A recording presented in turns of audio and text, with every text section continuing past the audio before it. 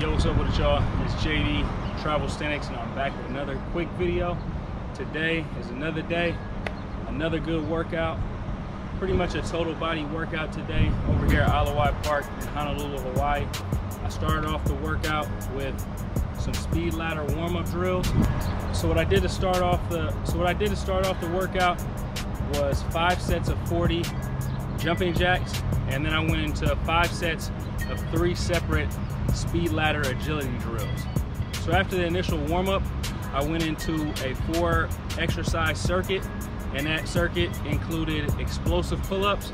I did five sets of eight on those. I did a total body dip, which is basically engaging every single part of the body, your core, shoulders, arms, all that. You'll see that exercise later in this video. The next exercise after that was an explosive lunge that I did on the speed ladder. I did 20 lunges right, then 20 lunges left. The exercise following that was a basic Australian pull-up, or what some people would call an inverted row. That was it for that second circuit. And the third circuit, if you want to call it, I would call it supersets. I just supersetted a, a core exercise where I was hanging on the bar doing flutter kicks, and also I was doing a parallel bar push-up. I did five sets of 20 on those, so that's 100 total.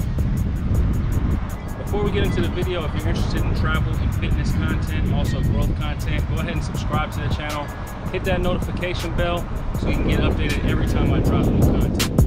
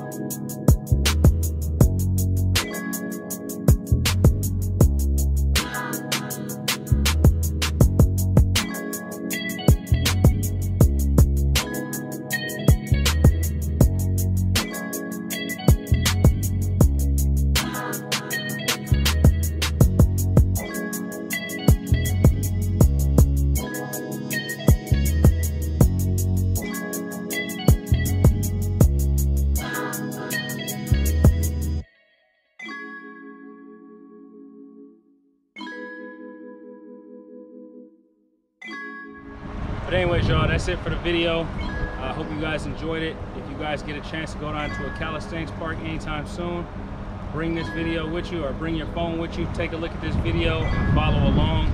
Let me know what you guys think in the comment section. I'll holler at you guys later. Peace.